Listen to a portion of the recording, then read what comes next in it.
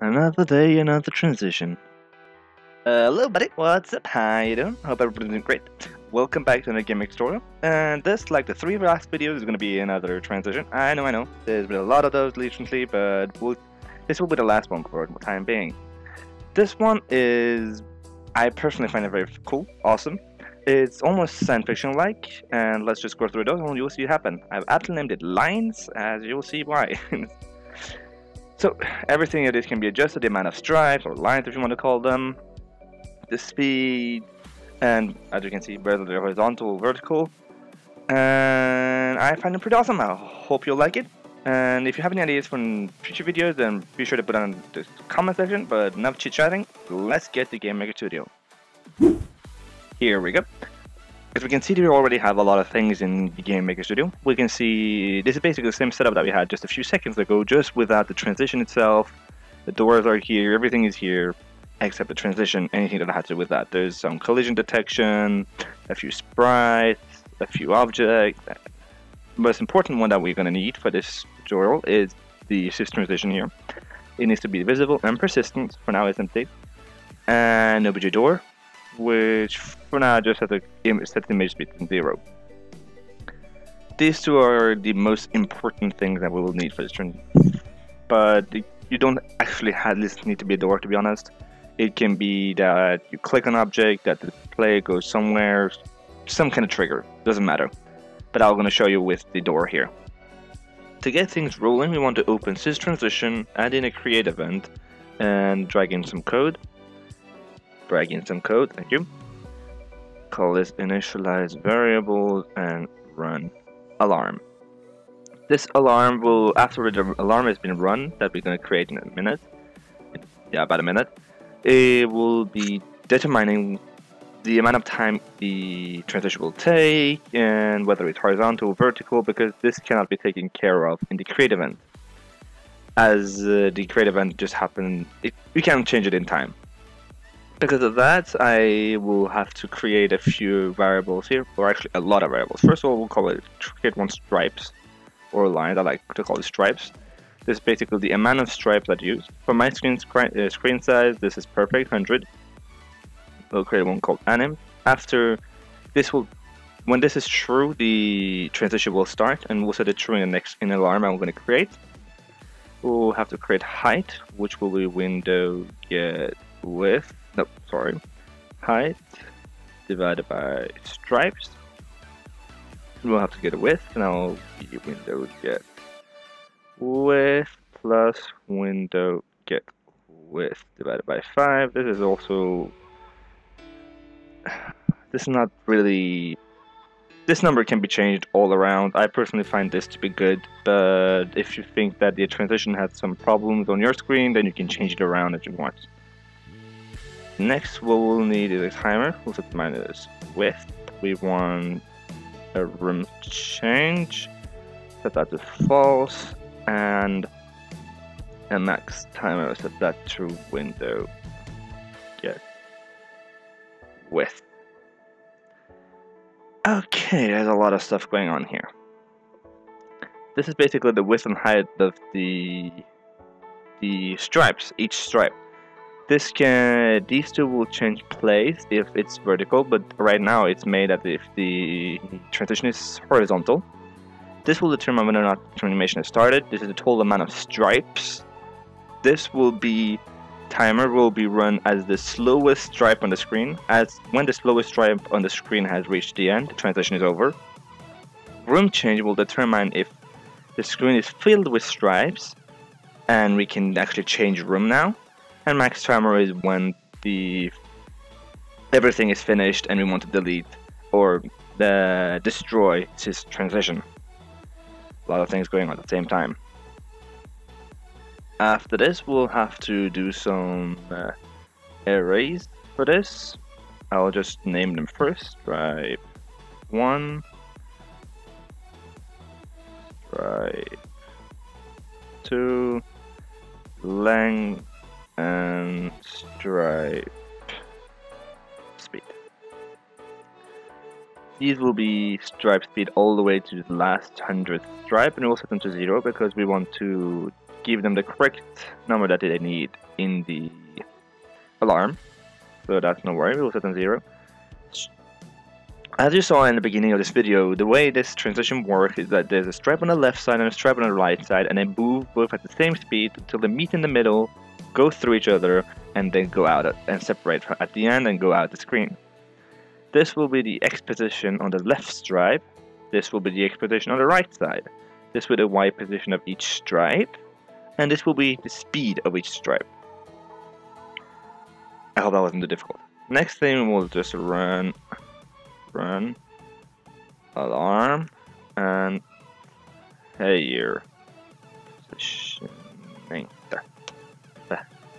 we'll run alarm 0 which we will use we'll set that to 0 to 1 and we want to set x x wait, wait, minus 1 and y y to minus 1 this will be later used when we change room to see if we need to change the player position as well now we're done here we can go close that out and open alarm 0 and add in a code. Here we'll now finish the arrays and start transition. If I can even spell correctly. Start animation transition much correct more correctly. So we'll set now get some references. Just gonna do it like this. View by port zero. Yeah, create two variables here, stripe width, window. Yeah width, copy, paste it under, change width to height, and W to H here. Then I got all the references I need. And I'll just do a finished erase. I'll get to that in a second, however, because there's one more thing that needs to be done. We need to open RM initialize, go into the creation code, and add an enumerator in here. enum transition. It's gonna be the name and we'll call it stripe hor for the horizontal stripe and stripe ver for the vertical. That's all that we needed here. We'll then in alarm do a switch.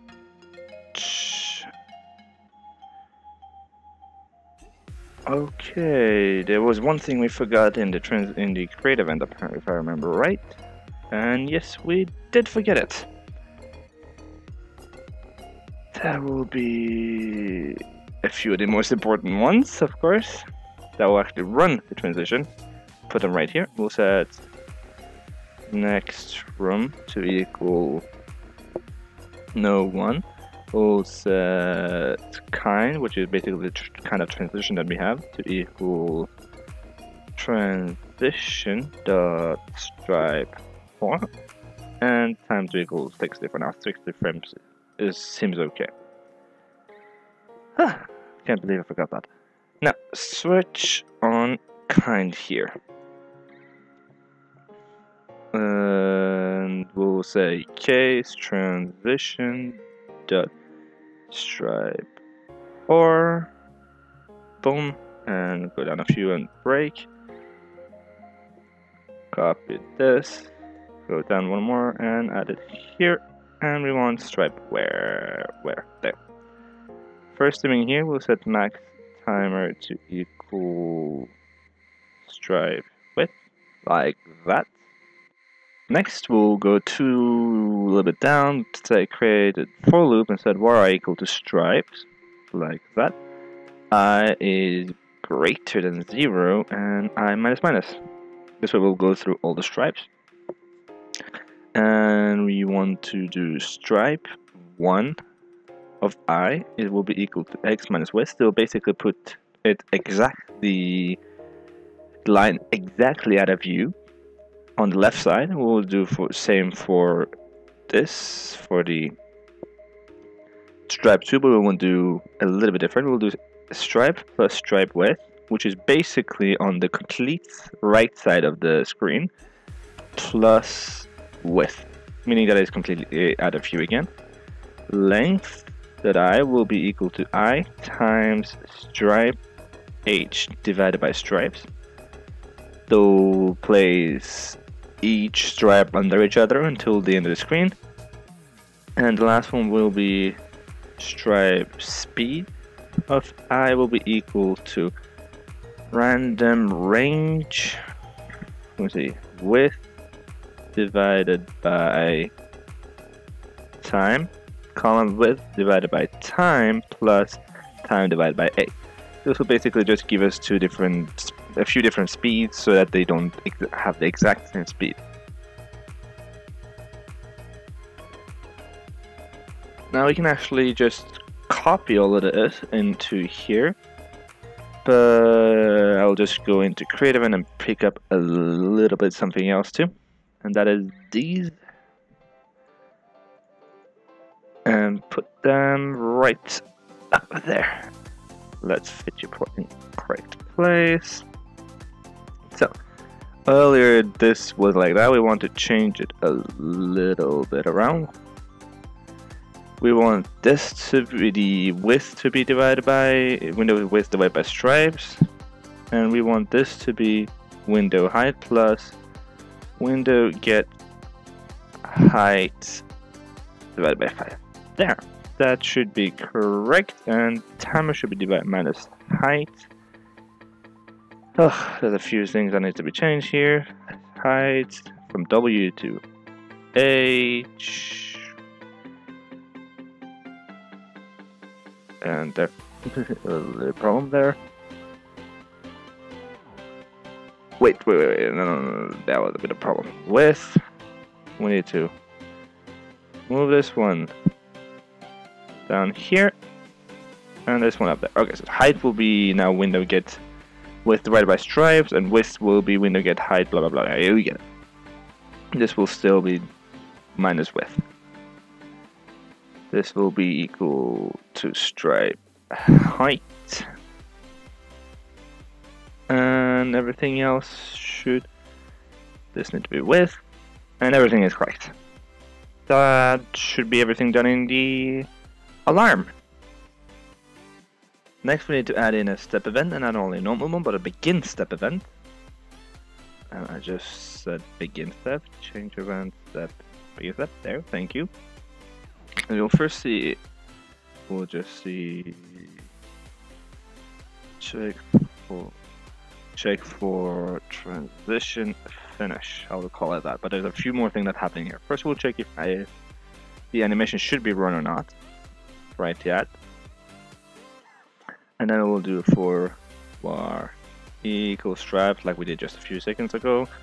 Is i greater than zero, i minus minus, we'll do stripe 1i plus equal stripe speed i. And just copy this down. 1 to over to 2 and minus equal